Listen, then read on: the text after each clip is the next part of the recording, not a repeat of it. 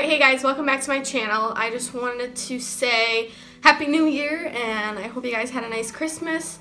Um, in today's video, I'm going to be filming my Get Ready With Me Everyday Makeup Routine. I already filmed one of these a while back, but I've also switched up some products in over a year, besides just a couple. And yeah, um, my foundation or whatever is still the same, and so is my primer. So yeah, if you guys want to keep on watching to see how it turns out and what I do for my everyday makeup, just keep on watching. Alright, so to start off with the look, I already um, did my everyday morning routine, skincare routine, morning skincare routine, that's what I want to say.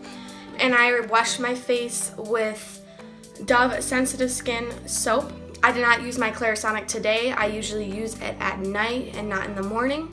And after I use my Clarisonic, I go in with the Origins Making, oh, not Making, Make a Difference Plus um, Rejuvenating Moisturizer. And I just dab one, two, three, four all around my face and I just rub it in with my fingers.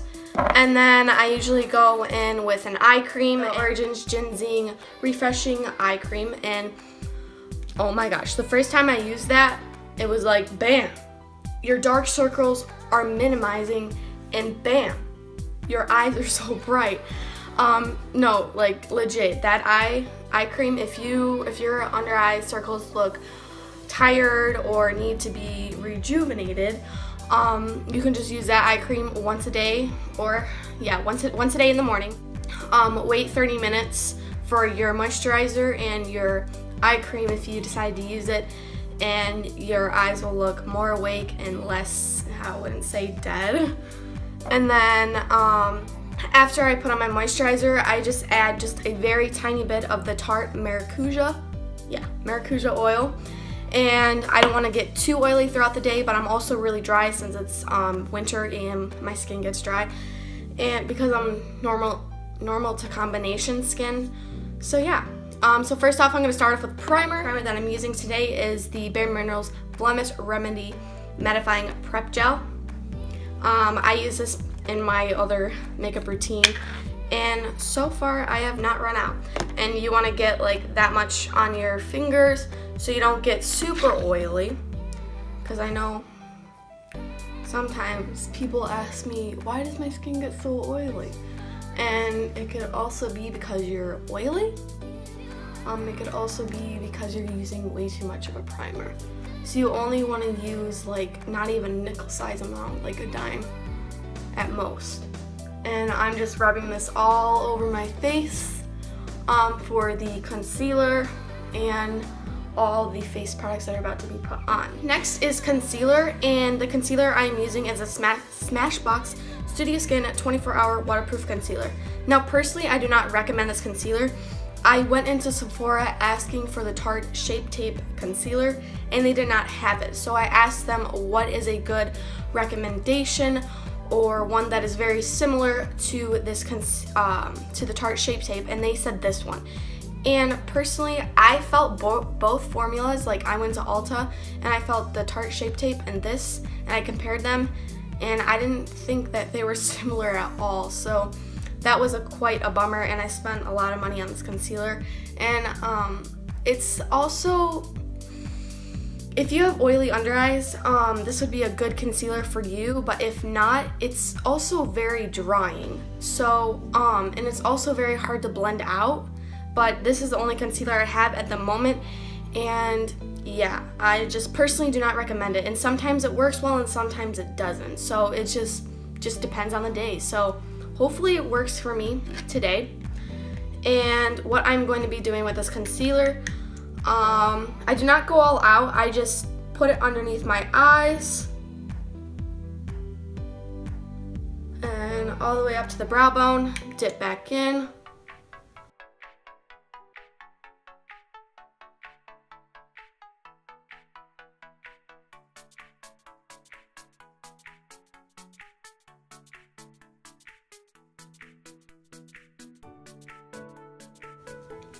And I'm not gonna go all out and highlight with this concealer because like I said, it's also really drying and very hard to work with.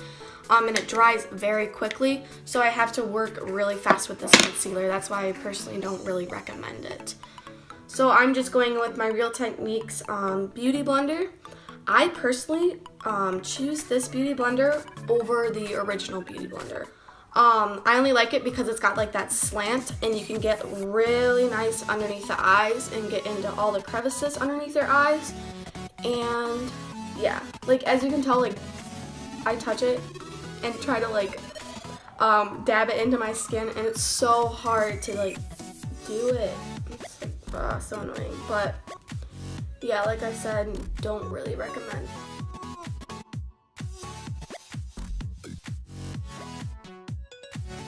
Also another Real Techniques sponge. This is just, I forgot what this one was called, but it's just like a little baby beauty, beauty blender and it's also got that slant so I'm gonna use this to go underneath my eyes, make sure everything's all blended out. Now we're going in with foundation and the foundation I'm using today is the Bare Minerals Blemish Remedy um, foundation. It's just a powder foundation. Um, I personally do not like Bare Minerals, but I love, love, love this foundation. Um, and I'm in the shade Clearly Pearl because I'm extremely white because it's the winter and we lose our tan. That's very sad, but yeah. And I've had this ever since last year when I did my other makeup, my other everyday makeup routine. But anyways, with this, I am just going to buff this into the skin. Um, make sure you go underneath your concealer so it does not crease throughout the day. Usually, if I'm going somewhere or if I'm doing a really nice look, I usually bake my under eye concealer so it doesn't crease. And usually if I don't bake, it's gonna crease. And I'm not going to be baking in this makeup look because um, it's my everyday makeup routine and sometimes this concealer works with me and sometimes it doesn't like I've said multiple times already. But anyways just buffing this foundation into the skin making sure I get every spot. And this is like a very I wouldn't say full it's like medium coverage foundation. I usually use this foundation if I just want to just make, make sure I look like presentable like when I go out of the house. So yeah, after foundation, after foundation, I'm going into my contour bronzer. Um, I mostly just contour with it. I'm using the Bahama Mama bronzer powder. And um, this is what it looks like. I feel like this is like another dupe for like the Hoola bronzer. Um, because like I compared the shades and like this shade will work well with any skin tone um, to contour or bronze. So I'm just taking a little bit of this on my little Too Faced little mini um, kabuki brush. And I'm going to go in the normal um, contour spots. So right underneath my cheekbones.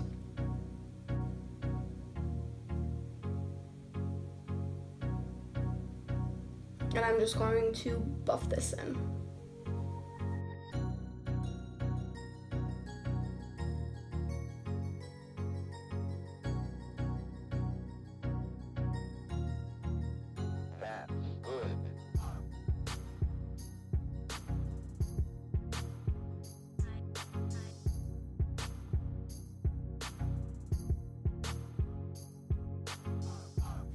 Now, like, as you can tell, this bronzer isn't too um, orange and isn't too cool. Like, it's not a cool tone or a warm tone. It's, like, right in between those two. So that's why I, like, like this um, contour slash bronzer. So I'm just going to be going over my forehead with this. I'm just going to dab this on. It's gonna look kind of funky to begin with because it's not blended in. And then I'm just going to buff it into the skin. Making sure it's all blended.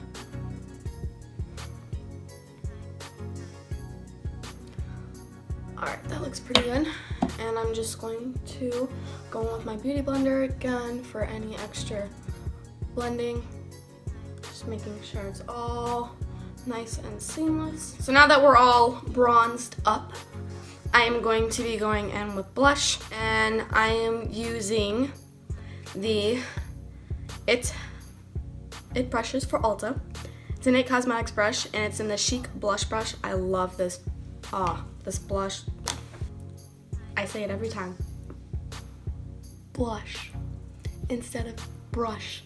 I screw up all the time. But I'm going in with the Too Faced um, Love Flush Funfetti Long Lasting 16 Hour Blush. And um, it's so cute. This packaging is adorable. I've used it multiple times, but it has like birds, I think. Yeah, birds that are going in a heart and little bunnies and it says Too Faced and little circles around it. But anyways, I love this blush. Um, I use it every day as you can tell by the title, my everyday makeup routine. But yeah, and this brush that I'm using is so soft. I highly recommend these brushes. They are incredibly soft and they are so easy to work with and to blend with. So I'm dipping back in to the product and going on to the other side. And this brush is also really nice because it's like an angled uh, brush so it'd be easy to get high up on those cheekbones. Make sure I'm blending it in to the bronzer so there's no like, bam, we got contour and bronzer and then blush. We gotta make sure everything's all blended in, so I'm going back in with my Beauty Blender and I'm just um, dabbing this into my skin and making sure it is nice and seamless.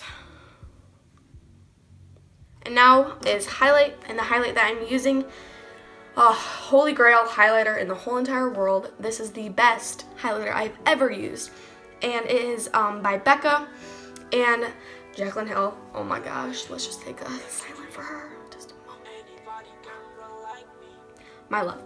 She is my favorite YouTuber in the whole entire world. I go to her, watch her videos, take input, input from her, and just let that sink into my brain and just use it and use it. She gives you so much information that if you're a beginner or an intermediate, is that the word I want to use? Um, into makeup, she will get you on the right track and make sure you are good to go with your makeup. She is by far one of the best YouTubers and amazing YouTubers I've ever watched in my life. Um, but she teamed up with Becca and created a highlighter called Champagne Pop. She also created like this um, blush and highlighter compact. It has like Prosecco Pop. That's like, she likes to say it's like her sister of Champagne Pop. And three other blushes.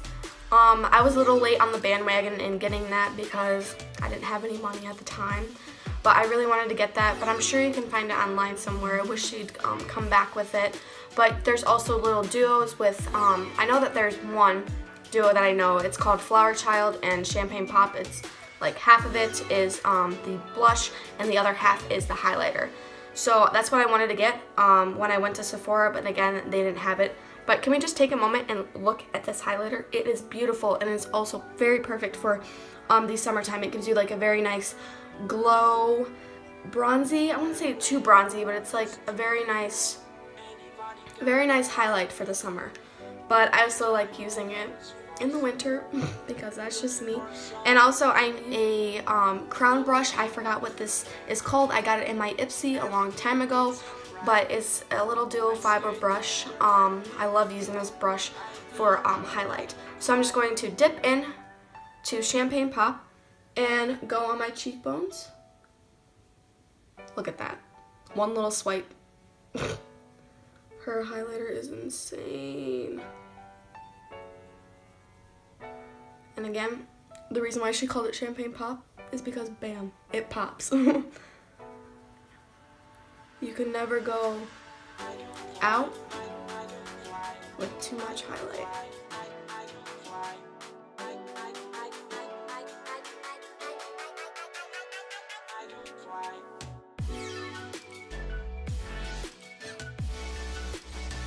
Alright?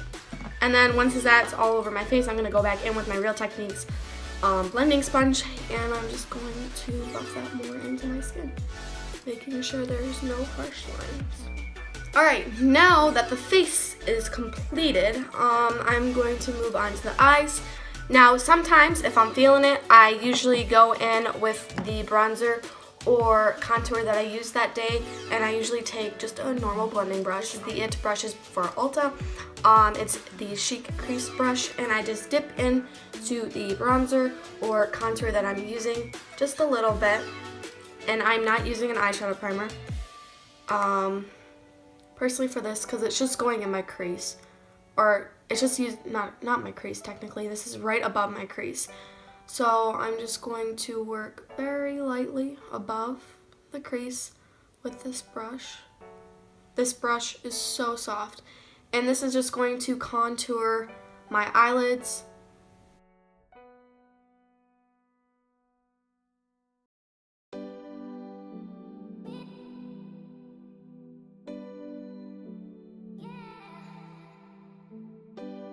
Alright, now that I got my eyelash curler, um, this is the Tarte eyelash curler.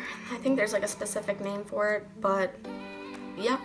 I'm just going to be going in and curling my eyelashes for um, the mascara that's about to be put on. Now personally, I like drugstore um, eyelash curlers better, but this is a really good eyelash curler that is um, a high, this is a very nice high-end eyelash curler. So I'm using two mascaras today, and the two mascaras I'm using is Faced Better Than Sex Mascara and the IT Cosmetics Hello Lashes Mascara. And it is the 5-in-1 volume 5-in-1 volumizing mascara.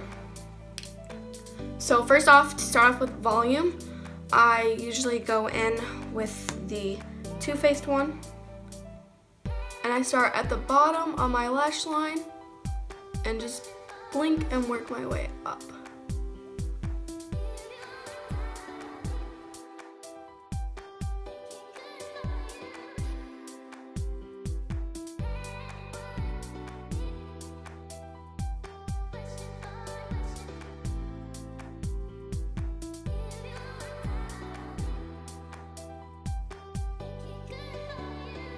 I'm gonna let them dry for like 0.2. Take a little swaggle of my water. Now, um, I just got this glass water bottle from TJ Maxx. It is so cute. It's got a little um, infuser, like a fruit infuser thing in it. And I've been really into essential oils. And I usually put, um, I just started like this little like detox water type of thing today. And I just added um, a couple drops of orange essential oil from Young Living and I put um, three to four strawberries in my infuser and I just let that sit um, for about 15-20 minutes and then I just shake it up and it's ready to go.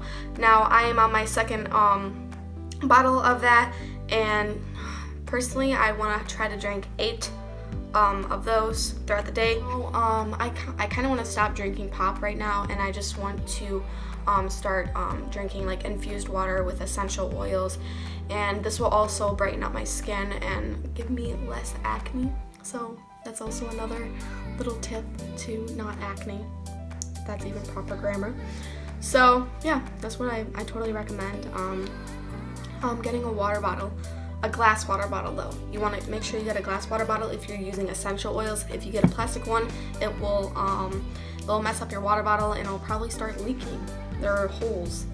It, it won't be good. It won't be good. So yeah, um, now I'm going back in with the Too Faced Better Than Sex Mascara and just doing a second coat.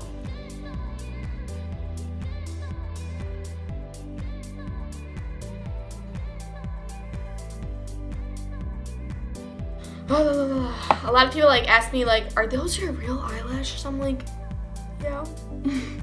I was blessed with really long eyelashes so I really don't wear fake eyelashes unless I'm in the mood to wear them. So yeah, and now this wand is insanely funky. Like these are for like, I think these type of bristles are for like lengthening and getting out like the clumps and this little a part of the brush is for like your bottom eyelashes but I technically don't like wearing mascara on my bottom eyelashes. I feel like they just look unnatural and not good looking. So I like using this for lengthening and getting out the majority of the clumps.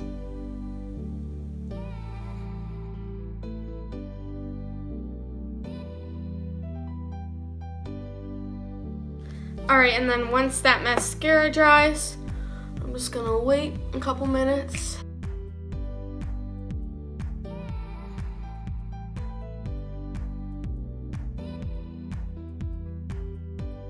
I'm going to be going in with my MAC Prep and Prime, Prep Plus Prime, the Fix Plus, and just setting my makeup, just doing a couple squirts of those.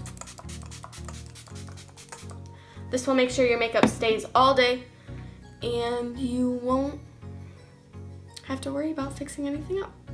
Um, that was my updated everyday makeup routine. I usually do this for school and every day, basically. Um, so yeah, um, I hope you guys uh, really liked this video. If you did, be sure to give it a thumbs up. If you didn't, just give it a thumbs down so I know. Um, if you guys want me to do any more makeup videos, um, pretty sure for the future I'm going to be doing makeup looks makeup looks from the Naked 1, 2, 3, and the Modern Renaissance palette. Um, just comment down below which palette you want to see first. I know people said that they wanted to see the Naked 2 first, so um, I'm going to um, next probably film the Naked 2, and then probably Naked 3, and then Modern Renaissance, and then Naked 1. That's probably how the order is going to go. So be sure to stay tuned for that. And if you guys want to stay tuned, um, make sure you turn on my notifications and um, I'll let you know when I upload um, this video. And yeah, be sure to hit that subscribe button if you haven't already. It just lets you know it's free. And yeah, um, thank you guys so much for watching and I hope you guys have a good day. Bye.